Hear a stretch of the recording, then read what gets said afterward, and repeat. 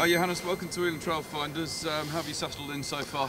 No, so far, so far, so far, so good. But uh, the weather's not playing its part with me at the moment. When I got here, it was at least not so cold. But yeah, enjoying, enjoying it over here so far. Really looking out for the club as well. The club has been good so far to me and the players and stuff, and settling in quite, quite nicely. Yeah.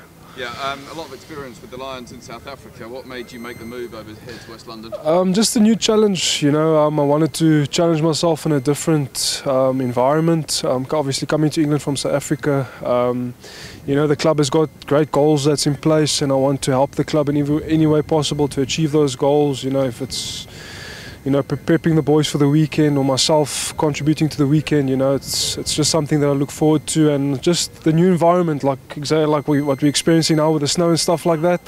Um, so yeah, just looking forward to it. Yeah, plenty of South Africans in the squad here. Does that make it a bit more familiar? Um, I didn't know there were so many when I came here until I heard. I only, I only thought it was just Bobby and Abongile.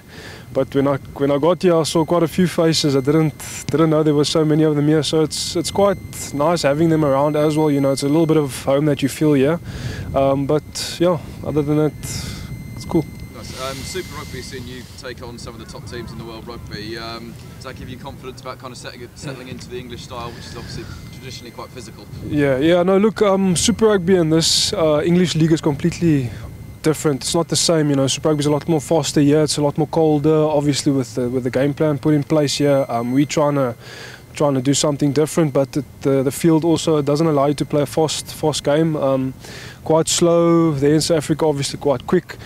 But you know, just in terms of in terms of the way that the team plays and the way that they do things, um, hopefully I'll fit in here quite nicely because this is the way that I want to play too. Um, challenge myself in a different area, um, and I feel this is the best place to do it. Yeah, after a spell in France where it's very set piece based, um, would you say scrummaging is your main strength? Um, look, I love I love to scrum. I wouldn't have been playing I wouldn't have been playing prop any any if it wasn't for me loving to scrum.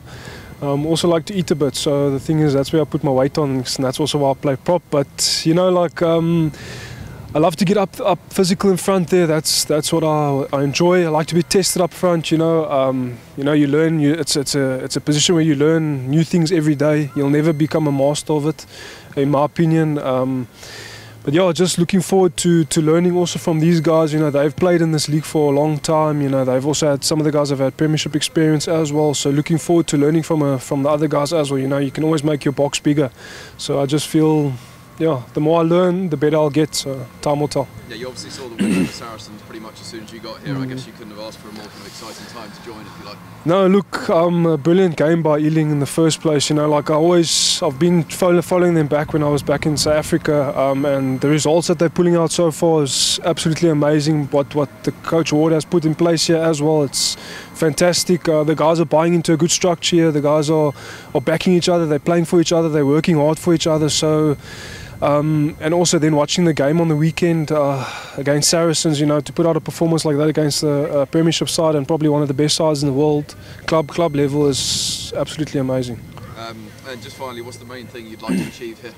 Um, I just want to be a better player, a better person. Um, you know, apply myself in in, in, in great in a, in, a, in a good a good space here with the club um, to become a better player uh, to learn a lot about the English culture. That's also a big thing. Um, but just to play, just to play rugby, you know, um, to get stuck in with the boys and to to make your teammates proud.